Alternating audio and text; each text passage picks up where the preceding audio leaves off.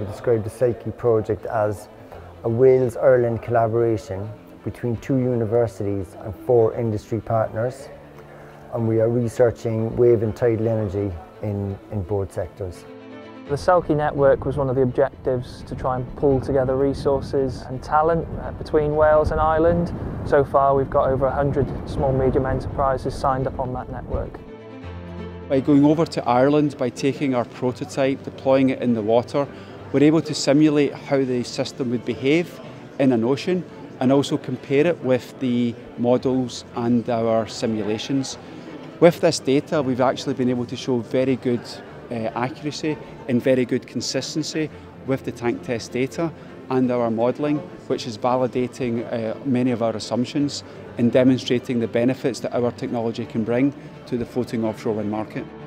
And then in the future, when we deploy this unit next to a tidal turbine, we'll be able to see most very accurately the incoming flow and also the response of the turbine to that. And when you put those two pieces of the jigsaw together, with the, the science and the industry coming together, then you, then you can really make progress and develop much better systems in the future. The main purpose of, of, these tools is to kind of break down those initial barriers for companies looking to enter the industry, saving time and saving costs. Looking out at this stretch of ocean here behind me still reveals virtually no information whatsoever on whether or not this is a good area for wave and tidal energy development, let alone project feasibility estimates. Geo-information such as that on the local wave climate, current speeds, water depth, seabed character, proximity to nearest port and grid access, protected area boundaries, shipping traffic, fisheries, etc. all need to be weighed up before deciding on whether or not a site is suitable for deployment. So every year we put out a new socioeconomic report. This is data from that. This is a year old. This is all from last year. We're in the process of uh, making the new one at the moment. As of last year, we'd seen about 160 million of investment into Wales from these four technology types and their associated supply chains. Um, most of that spending has been in tidal stream, about 70 million has been invested into Wales to date, so quite a significant sum of money there. I think the legacy of Selkie will be measured in the, the companies we've helped, the research developments that we funded, the open source tools that are available with training and support. And I think it's in the relationships that we help facilitate between business and enterprises on both sides of the Sea. it's the important thing with title projects. You can't do it on your own. You've got to bring a lot of very specialized companies together to do it.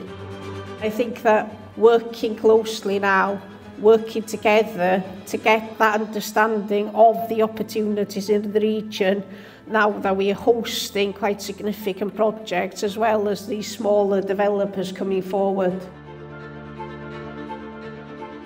Did a data report on innovation, networking and policy in the offshore renewable energy sector in Western Europe the goal of which was to look at the key data and indicators as to what were the barriers to innovation. We designed a unique purpose-built survey and had responses from 215 firms. Now most of the sample are from the UK and Ireland.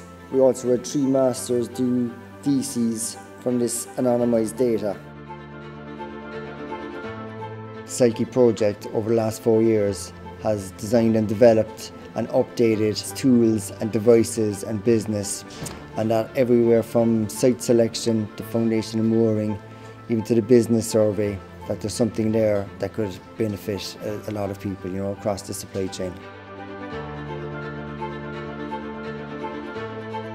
Key successes of Selkie our open source tools or research into uh, wave and tidal energy, technological innovation, or business network and our industry engagement across both Ireland and Wales.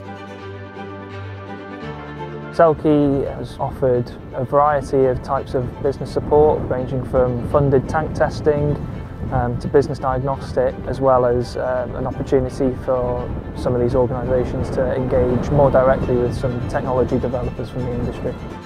I think a big achievement overall is that the project completed its objectives um, despite the, the lockdowns and the pandemic and the supply chain issues that we've had. So we've achieved our object objectives and um, got a couple of more experiments in uh, were at it.